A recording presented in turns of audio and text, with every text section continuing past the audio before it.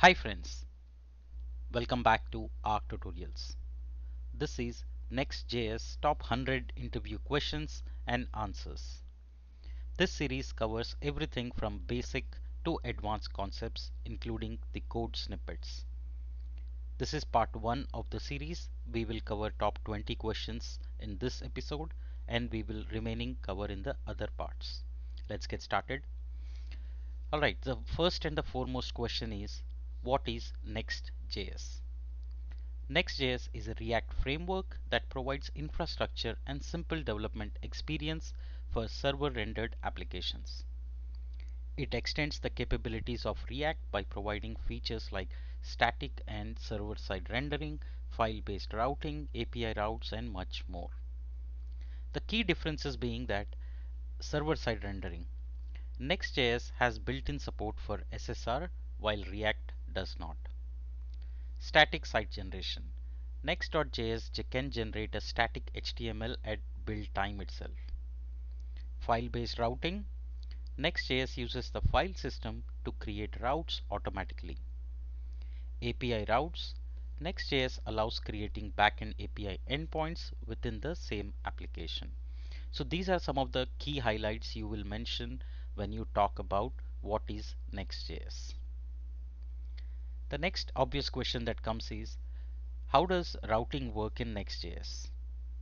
So Next.js uses file-based routing system, which means each page in a Next.js app is a React component in the pages directory. So whenever you want to create a new route, you will place them under the pages folder with the same file name. The file structure determines the routes of the application. How can you fetch data in Next.js? Next.js provides several methods for fetching data, including get static props, get server side props, and get static paths. Get static props can be used for static site generation. Get server side props can be used for server side rendering and get static paths is used for dynamic routing. Take an example here. We are using get static props. In this we are making a fetch call getting the data and returning it as a props. This is one of the example. Same way we can use get server side props and get static paths as well. What are dynamic, dynamic routes in Next.js and how do you implement them? Dynamic routes allows us to create routes with dynamic parameters. You can implement dynamic routes by creating a file with square brackets in the pages directory just like this. Now this means inside the pages you are creating a post and is expecting an id.js. When it when you actually launch it, you will launch it like slash post slash id, which can be a number, string, anything. That's the unique identifier to identify that unique route. And while capturing it, you will use the use router to get the dot query and get extract that particular ID. How do you create API routes in Next.js? API routes provide a solution to build your API with Next.js. You can create an API endpoint by creating a file under the pages slash API directory. So here, if you have an API which says slash hello.js, you can create a handler and say that this you'll export that function with a request and response and send the response accordingly. So in short, you will uh, just like how you create the routes under pages, same way you'll create API routes inside API folder. Explain the use of next slash link and next slash router. Next slash link is used for client side navigation between routes in Next.js. It's basically a tag that is provided in Next.js and you will use it like this link href about like that. So it's basically HTML tag which is available which is a link. Whereas next slash router provides methods to navigate programmatically and access the router object. Okay, so remember the difference between link and next uh, slash router. How do you use CSS in Next.js? Next.js supports various ways to style applications, including CSS modules, global CSS and styled components. Take a look here. If you have a CSS file which has a class called title. You can import it, import the styles from style slash home slash module dot css and in the component you can assign directly like styles dot title. So it will directly map the class name by the name title. What is get initial props and how does it differ from get server side props and get static props? Earlier I showed you an example of get static props. Get initial props is an older method to fetch initial data both on the server and client side. But now it's recommended to use either get server side props or get static props for either server side rendering or directly to generate the static pages. So in short, get server side props will only run on the server side and fetch data on each request. Whereas get static props fetches data at build time and generates the static pages. How do you optimize images in Next.js? Next.js provides the next slash image component for image optimization, which includes automatic resizing, optimization, and serving from a content delivery network. Just like how we saw next slash link same way we have next slash image. What it does is that it will build an image tag and it you can pass the attributes like source, alt, width, height, whatever we pass in the HTML for image tag. Explain the use of middleware in Next.js. Middleware in Next.js allows us to run code before a request is completed. It can be used for tasks like authentication, logging, interception, network head setting headers, etc. So this is just like if you are coming from Express.js, you would know that any middleware would just do a method where it takes the request environment, then again you do dot next. That means after that it would be passed the same information, whether it's the header or the content, you can easily map it using middleware. What is incremental static regeneration in Next.js? Incremental static regeneration allows us to update static content after the initial build without re-rendering the entire site. You can specify a revalidation interval to update the content. So take a look here. We are using get static props, which is making a fetch call, getting the data and sending it back as props. However, we have added revalidate 10. That means after every 10 seconds check for data content update or not.